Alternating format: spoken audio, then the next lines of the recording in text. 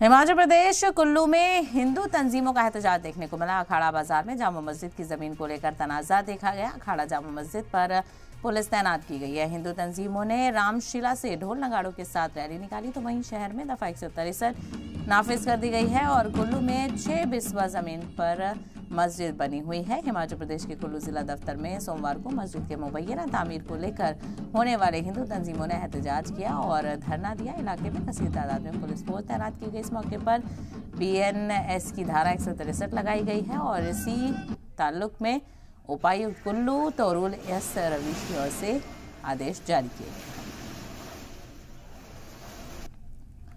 तो तस्वीरें आप देख सकते हैं किस तरह से पुलिस की निगरानी यहाँ पर नज़र आई और एहतजाज भी यहाँ पर दर्ज कराया गया है। तो रैली यहाँ पर निकाली गई और नफरत की सियासत भी यहाँ पर देखने को मिल रही है। तो शिमला तक इसकी आग पहुँच चुकी है और शिमला के बाद कुल्लू में भी एहतजाज देखा गया।